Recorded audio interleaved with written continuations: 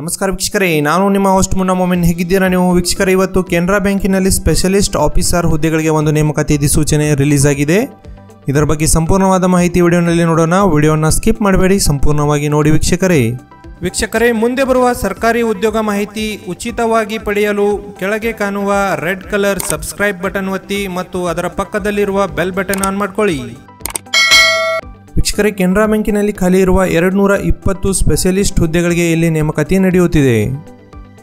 ಹುದ್ದೆಹರ್ತೆ ನೋಡೋದಾದರೆ, ಅಭ್ಯರ್ಥಿಗಳು ಯಾವುದೇ ಡಿಗ್ರಿಯಲ್ಲಿ ಪಾಸಾಗಿರಬೇಕು, ಅಥವಾ ಬಿ ಅಥವಾ ಬಿ ಟೆಕ್ ಅಥವಾ ಎಂ ಬಿ ಎ ಅಥವಾ ಪಿ ಜಿ ಡಿಗ್ರಿಯಲ್ಲಿ ಪಾಸಾದ ಅಭ್ಯರ್ಥಿಗಳು ಈ ಹುದ್ದೆಗಳಿಗೆ ಅರ್ಜಿಗಳನ್ನು ಸಲ್ಲಿಸಬಹುದಾಗಿದೆ.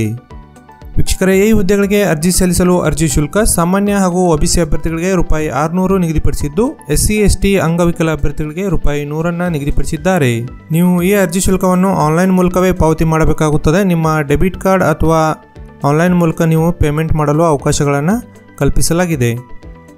ಮುಖ್ಯ ದಿನಾಂಕಗಳು ನೋಡೋದಾದರೆ, ನೀವು ಆನ್ಲೈನ್ ಮೂಲಕ ಅರ್ಜಿ ಸಲ್ಲಿಸಲು ಪ್ರಾರಂಭ ದಿನಾಂಕ ಇಪ್ಪತ್ತೈದು ನವೆಂಬರ್ ಎರಡು ಸಾವಿರದ ಇಪ್ಪತ್ತರಿಂದ ನೀವು ಆನ್ಲೈನ್ ಮೂಲಕ ಅರ್ಜಿಗಳನ್ನು ಸಲ್ಲಿಸಬಹುದು ಹಾಗೂ ನೀವು ಆನ್ಲೈನ್ ಮೂಲಕ ಅರ್ಜಿ ಸಲ್ಲಿಸಲು ಕೊನೆಯ ದಿನಾಂಕ ಹದಿನೈದು ಡಿಸೆಂಬರ್ ಎರಡು ಸಾವಿರದ ಇಪ್ಪತ್ತು ಕೊನೆಯ ದಿನಾಂಕವಾಗಿರುತ್ತದೆ.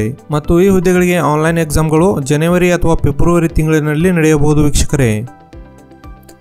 ವಯೋಮಿತಿ ನೋಡೋದಾದರೆ ಕನಿಷ್ಠ ಹದಿನೆಂಟು ವರ್ಷಗಳನ್ನು ಪೂರೈಸಿರಬೇಕು ಮತ್ತು ಗರಿಷ್ಠ ವಯೋಮಿತಿ ಮೂವತ್ತೈದು ವರ್ಷದ ಒಳಗಿನ ಅಭ್ಯರ್ಥಿಗಳು ಈ ಹುದ್ದೆಗಳಿಗೆ ಅರ್ಜಿಗಳನ್ನು ಸಲ್ಲಿಸಬಹುದಾಗಿದೆ. ವೀಕ್ಷಕರೇ, ವೇತನ ನೋಡೋದಾದರೆ ಈ ಹುದ್ದೆಗಳಿಗೆ ಆಯ್ಕೆಯಾದ ಅಭ್ಯರ್ಥಿಗಳಿಗೆ ಮಾಸಿಕ ರೂಪಾಯಿ ನಲವತ್ತೆರಡು ಸಾವಿರ ರೂಪಾಯಿಗಳನ್ನು ವೇತನ ಪ್ರತಿ ತಿಂಗಳು ಕೊಡುತ್ತಾರೆ. ಮತ್ತು ಈ ಹುದ್ದೆಗಳಿಗೆ ಅರ್ಜಿ ಸಲ್ಲಿಸುವುದು ಹೇಗೆ ಅಂದರೆ, ನೀವು ಅಭ್ಯರ್ಥಿಗಳು ಆನ್ಲೈನ್ ಮೂಲಕವೇ ಅರ್ಜಿಗಳನ್ನು ಸಲ್ಲಿಸಬೇಕಾಗುತ್ತದೆ. ಆನ್ಲೈನ್ ಮೂಲಕ ಅರ್ಜಿ ಸಲ್ಲಿಸಲು ನಾನು ವೆಬ್ಸೈಟ್ ವಿಳಾಸ ಕೆಳಗಡೆ ಡಿಸ್ಕ್ರಿಪ್ಷನ್ ಬಾಕ್ಸ್ನಲ್ಲಿ ಪ್ರೊವೈಡ್ ಮಾಡಿರ್ತೀನಿ.